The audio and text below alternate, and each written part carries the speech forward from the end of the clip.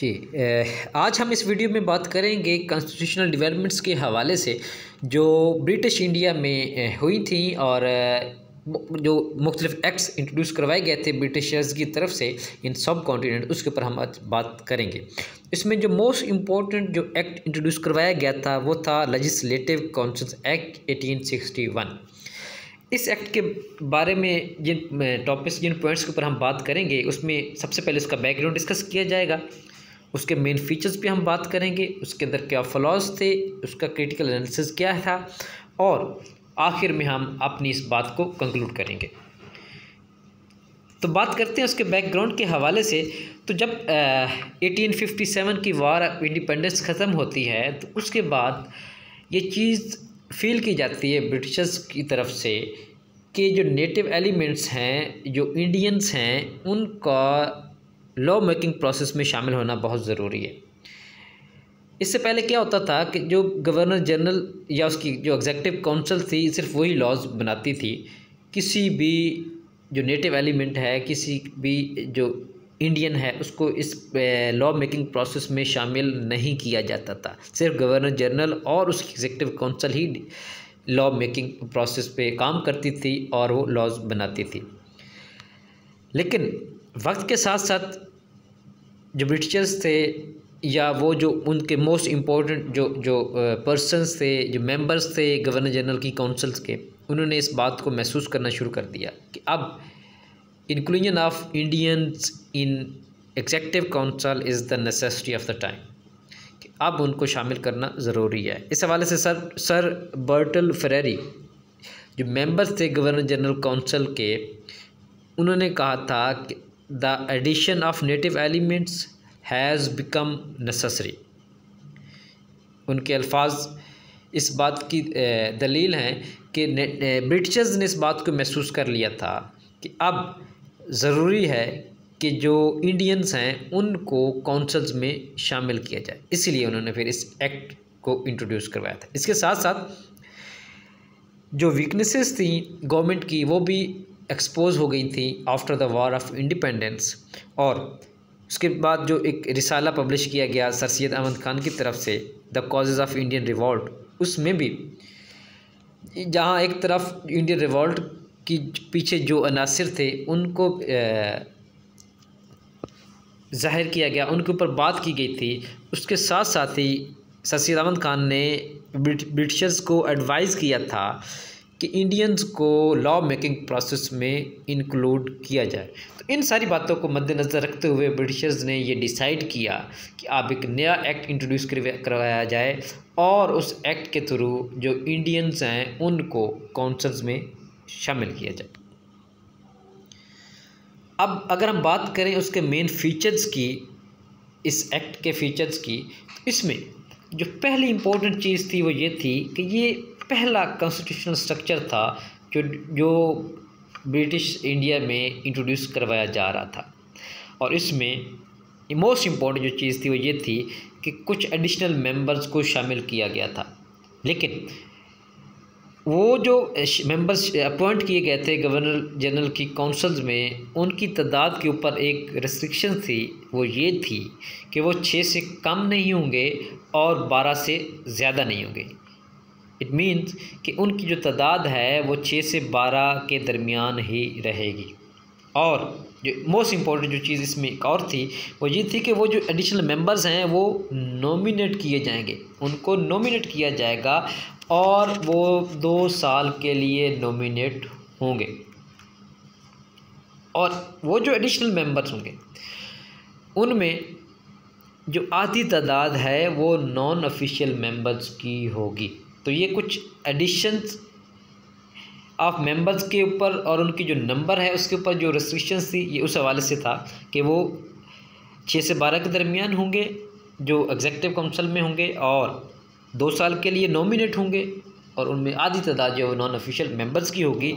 इस तरह जो एग्जेक्टिव काउंसिल के मेंबर्स की तादाद थी, वो चार से बढ़ाकर पाँच कर दी थी। यूँ फीचर्स के हवाले से अगर हम देखें तो जो पावर्स थी मेंबर्स की वो क्या थी? सबसे इम्पोर्टेंट चीज़ जो सामने लाई गई थी वो ये थी कि उन मेंबर्स को अलाउ किया गया था कि वो जो मीटिंग्स हैं कौंसल्स की वो अटेंड कर सकते हैं। लेकिन उसके साथ साथ जो एक और रिस्ट्रिक्शन थी उनकी आ, मीटिंग को अटेंड करने की वो ये थी कि वो सिर्फ़ वही मीटिंग्स अटेंड कर सकते हैं जिसका, जिनका एजेंडा लेजिस्लेटिव वर्क के ऊपर होगा। मतलब अगर कोई लेजिस्लेटिव वर्क होना, होगा तो वो वही मीटिंग वो अटेंड कर सकते हैं। इसके अलावा अगर एजेंडे में कोई लेजिस्लेटिव वर्क नहीं है तो वो मीटिंग अटेंड नहीं कर सकते। इसके अलावा उनको किसी किस्म की कोई पावर नहीं दी गई थी। यहाँ तक कि वो जो एडिशनल मेंबर्स थे, वो कोई क्वेश्चन तक नहीं पूछ पूछ सकते थे एग्जेक्टिव काउंसिल में, और ना ही वो कोई रेजोल्यूशन जो है वो इंट्रोड्यूस करवा सकते थे, कोई इशू कर सकते थे, या कोई मूव ऐसी कर सकते थे कोई रेजोल्यूशन किसी भी मीटिंग के अंदर। तो यूँ आप इन शॉर्ट आप ये समझ सकते हैं कि सिवाय मीटिंग अटेंड करने के उनको किसी किस्म की कोई पावर नहीं दी गई थी। ना कोई क्वेश्चन पूछ सकते थे, ना कोई डिबेट में पार्टिसिपेट कर सकते थे, ना ही कोई रेजोल्यूशन मूव कर सकते थे। दूसरी तरफ़, अगर हम देखें कि गवर्नर जनरल को इस एक्ट के तहत क्या पावर्स दी गई थी तो इस हवाले से देखें तो गवर्नर जनरल जो था, वो प्रेसिडेंट था कौंसल का। और वो अथराइज था कि वो इसी तरह की और भी कौंसल जो है वो क्रिएट कर सकता था for the north western provinces के लिए, पंजाब के लिए तो वो इसी तरह की काउंसल्स क्रिएट कर सकता था, ये उसकी अथॉरिटी में था। इसके अलावा जितने भी बिल्स होंगे या रेगुलेशन रेगुलेशंस जो पास होंगी प्रोवेंशियल काउंसल्स की तरफ़ से उनके ऊपर गवर्नर का और गवर्नर जनरल का असेंट लेना ज़रूरी था। मतलब कोई भी बिल बगैर गवर्नर जनरल के असेंट के पास नहीं हो सकता था। तो ये भी एक पावर थी गवर्नर जनरल की इस हवाले से भी। इसके अलावा जो गवर्नर जनरल था, उसको अथराइज था कि वो कोई भी, किसी भी वक्त, कोई भी ऑर्डिनेंस वो इशू कर सकता था। तो issuance of ordinance was another power of governor general. इसके साथ साथ एक और जो इम्पोर्टेंट पावर थी गवर्नर जनरल थी कि वो ये थी कि उसको अथराइज कर दिया गया था कि वो किसी भी किस्म की प्रोवेंशियल लेजिस्लेशन को वीटो कर सकता है। आप यूँ समझ लें कि इस एक्ट के तहत जो all in all powers vested थी, वो गवर्नर जनरल के थी। कि वो अपने हिसाब से अपने मर्ज़ी के मुताबिक जो काउंसिल है उसको क्रिएट भी कर सकता था। कोई ऐसा बिल नहीं था जो उसकी मर्ज़ी के ख़िलाफ़ पास हो जाए। वो जब चाहे ऑर्डिनेंस पास करते, वो जब चाहे किसी भी प्रोविंशियल असम्बली जो थी, उसकी जो लेजिस्लेशन है, उसको वीटो कर दे तो सारी पावर्स जो थी, वो वेस्टेड थी इन गवर्नर जनरल अब उसके बाद अगर हम उसको क्रिटिकल इसका एनालिसिस करें या उसके फ्लॉज की बात करें तो इसमें एक बात बड़ी वाज हो जाती है कि वो जो इम्पीरियल लेजिस्लेटिव काउंसिल थी, वो सिर्फ़ और सिर्फ़ मोर और लेस वो एक दरबार ऑफ़ वायसराय के तौर पर काम कर रही थी। दरबार ऑफ़ वायसराय के तौर पर काम कर रही थी मतलब जो वायसराय चाहता था, वही पास होता था, वो जो दरबार जो वायसराय चाहता था, उसके हिसाब से ही सारा काम होता था।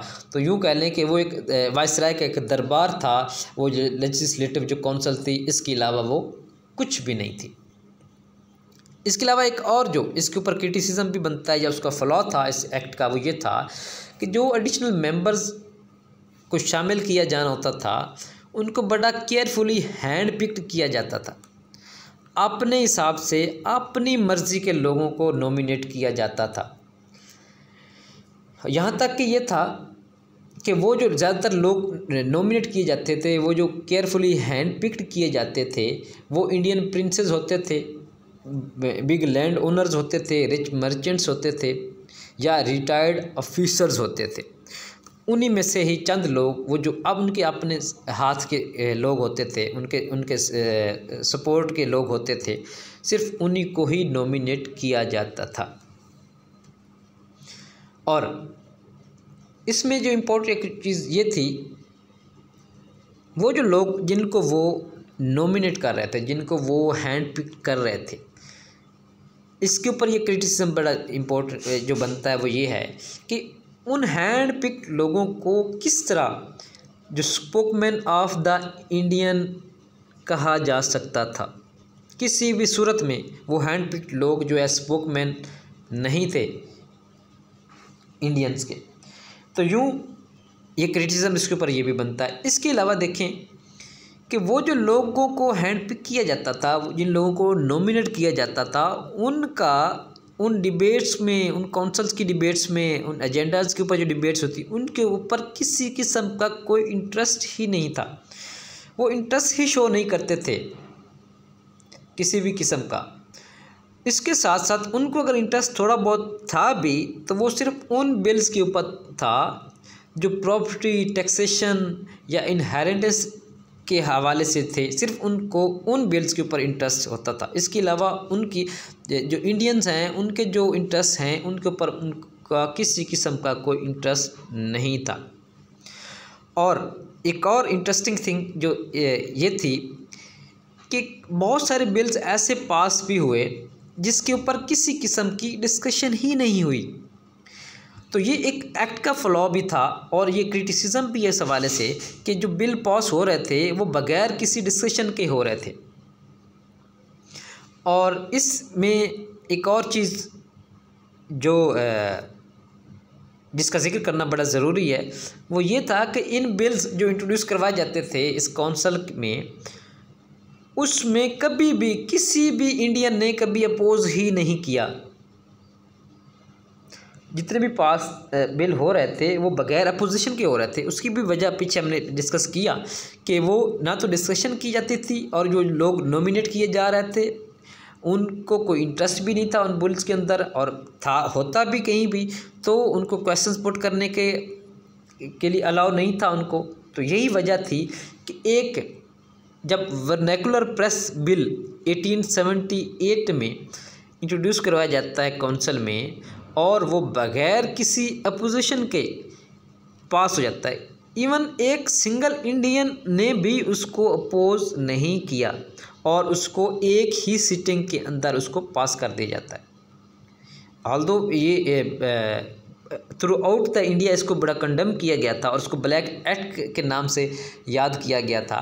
लेकिन जो बात करने वाली है, जो क्रिटिसिज्म बनता है, इसके ऊपर वो यही था कि इंडियन मेंबर्स जो थे, उनको किसी किस्म का कोई इंटरेस्ट नहीं था या वो किसी किस्म की कोई रेजिस्टेंस नहीं शो कर रहे थे किसी भी बिल के अगेंस्ट और इसके साथ साथ जो नॉन ऑफिशियल मेंबर्स थे, वो किसी किस्म की कोई इंटरेस्ट शो नहीं करते थे मीटिंग्स के अंदर और उनकी जो मीटिंग्स में जो अटेंडेंस थी, वो काफ़ी पुअर थी।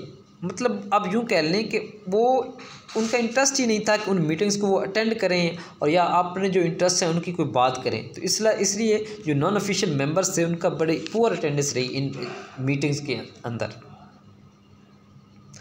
लेकिन अगर हम इसको कंक्लूड करें इस एक्ट को उस हवाले से ये था कि बेशक उसकी लिमिट उसमें बहुत सारी लिमिटेशंस भी थी, बहुत सारे उसके ड्रॉबैक्स भी थे, लेकिन ये जो इंडियन की कॉन्स्टिट्यूशनल हिस्ट्री है, उसके अंदर एक ये माइलस्टोन था कि कम अज़ कम इंडियंस की जो प्रेजेंस है, उसको फील किया जा रहा था। उनकी प्रेजेंस को इंश्योर कर, किया जा रहा था कॉन्स्टिट्यूशनल डेवलपमेंट्स के अंदर। तो ये एक एक पहला स्टेप था, या एक स्टेपिंग स्टोन था टूवर्ड्स द लार्ज जर्नी ठीक है? तो यूँ, ये, जो एक्ट था, वो एक स्मॉल स्टेप था in the long journey of constitutional development और यही वो एक्ट था जिसके तहत बाद में सर सैद अहमद खान को भी नॉमिनेट किया गया था as member of legislative council